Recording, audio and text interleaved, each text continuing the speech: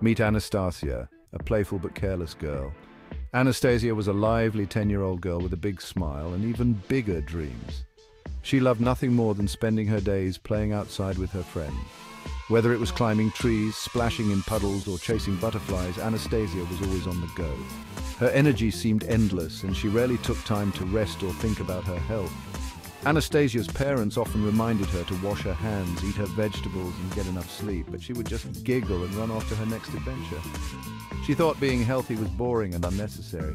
I'm young and strong, she would say. I don't need to worry about all that stuff. Little did Anastasia know that her carefree attitude would soon catch up with her. As weeks passed, Anastasia began to notice changes in her body. Her wrists ached constantly, making it difficult to hold her guitar or even write in class. She ignored the pain, thinking it would go away on its own, but it only got worse. One morning, she woke up to find her hands swollen and stiff. Scared and confused, she finally told her parents about the pain. Around the same time, Anastasia developed a strange rash on her skin. Red spots appeared all over her body, and she felt feverish and tired. Her mother recognized the symptoms of measles, a disease Anastasia should have been vaccinated against, but Anastasia had missed her doctor's appointments, too busy playing to bother with checkups. Now she was facing the consequences of her neglect. To make matters worse, Anastasia's love for cold drinks and disregard for proper clothing in chilly weather led to frequent coughing fits. She found it harder to breathe, especially when running or playing sports. The wheezing in her chest scared her, but she tried to hide it from her parents.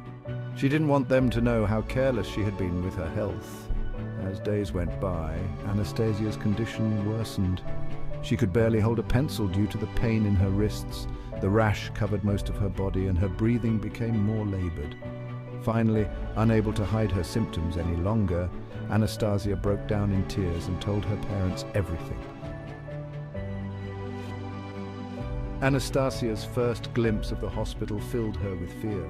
The white walls, the smell of disinfectant, and the sight of sick people made her realize how serious her situation had become. As they walked through the corridors, Anastasia held tightly to her mother's hand, wishing she had listened to her parents' advice about taking care of herself. The emergency room was busy, but the nurses quickly recognized the severity of Anastasia's condition. They ushered her into an examination room where she met Dr. Aleman Remix, a kind-looking doctor with a warm smile. Dr. Aleman listened carefully as Anastasia and her parents explained her symptoms and the events leading up to her hospital visit. Dr. Aleman's face grew serious as he examined Anastasia. He checked her wrists, looked at her rash and listened to her breathing. After a thorough examination, he sat down with Anastasia and her parents to explain what was happening. Anastasia, he said gently, you're dealing with several health issues that could have been prevented with proper care. The doctor explained that Anastasia had developed carpal tunnel syndrome from overplaying the guitar without proper technique or rest. The rash and fever were indeed measles, a dangerous disease that could have been prevented with vaccination. Lastly, her breathing difficulties were signs of asthma, likely triggered by exposure to cold and her weakened immune system. Anastasia felt overwhelmed and scared, but Dr. Aleman assured her that with proper treatment and care, she would recover. Dr. Aleman began Anastasia's treatment immediately. He prescribed medication for her measles and fitted her with wrist braces to help with the carpal tunnel syndrome. For her asthma, he gave her an inhaler and taught her how to use it properly. But more than just treating her symptoms, Dr. Aleman took the time to educate Anastasia about the importance of health and self-care. Dr. Aleman Anastasia, he said, sitting beside her hospital bed. Your body is like a precious instrument. Just as you take care of your guitar, you need to take care of yourself. He explained how simple habits like washing hands, eating a balanced diet and getting enough sleep could prevent many illnesses. He also stressed the importance of regular checkups and vaccinations to stay healthy. Dr. Aleman's kind words and patient explanations helped Anastasia understand why her parents had always insisted on healthy habits. She realized that taking care of her health wasn't boring or unnecessary, it was essential for her to enjoy life and pursue her passions. As she listened to Dr. Aleman, Anastasia felt a mix of regret for her past carelessness and determination to do better in the future. Over the next few days, Anastasia remained in the hospital under Dr. Alleman's care. She learned more about her body and how to keep it healthy.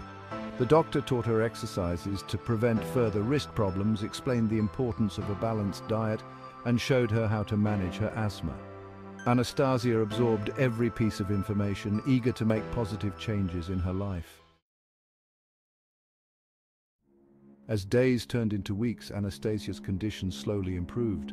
The rash from the measles began to fade, and her breathing became easier with the help of her inhaler. Her wrists still ached, but the pain was manageable with the exercises Dr. Alleman had taught her. Throughout her recovery, Anastasia remained determined to learn from her experience and make better choices in the future. During her time in the hospital, Anastasia received many visitors. Her friends from school came by, bringing get-well cards and stories from class. Even her guitar teacher visited, bringing a special finger exercise tool to help her regain strength in her hands. These visits reminded Anastasia of all the things she loved to do and reinforced her desire to get healthy so she could return to her normal life. Anastasia's parents were with her every step of the way, offering support and encouragement. They helped her practice her new health habits, reminding her to take her medicine and do her exercises. Anastasia was grateful for their patience and love, realizing how much they cared about her well-being. She promised herself that she would never again take their advice for granted. As her discharge date approached, Anastasia felt a mix of excitement and nervousness. She was eager to go home and put her new health knowledge into practice, but she also worried about falling back into old habits. Dr. Alleman, remember, Anastasia, health is a lifelong journey. Take it one day at a time and you'll do great. With these words of encouragement, Anastasia felt ready to face the world with a new perspective on health and self-care.